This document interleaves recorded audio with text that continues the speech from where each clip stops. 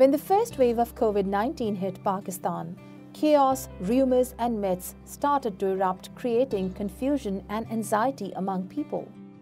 Some called it a biological warfare, some claimed cure in home remedies, while some thought it was just a hoax.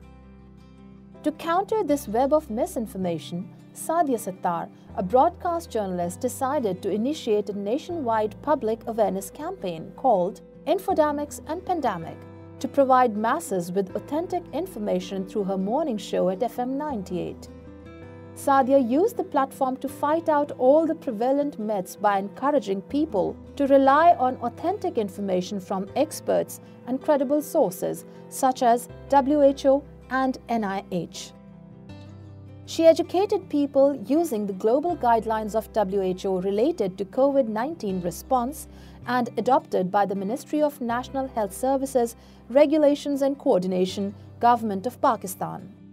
The ministry had published these guidelines on their official website translated into local languages for general public.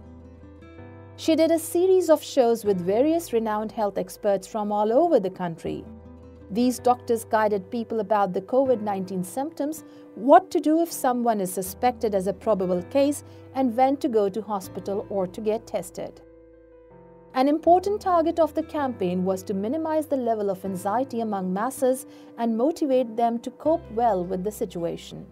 For this purpose, she invited a psychologist to her show who talked about the coping mechanisms to deal with anxiety and fear.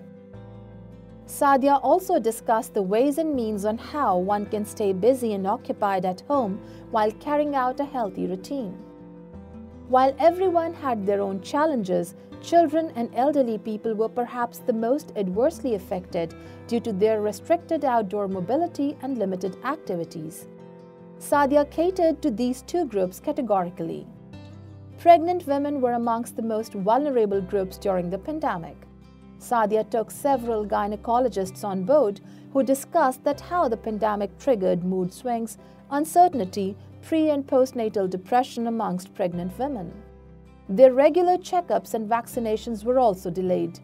So they were informed through the radio show about doctors who were available voluntarily on free helplines to assist pregnant women.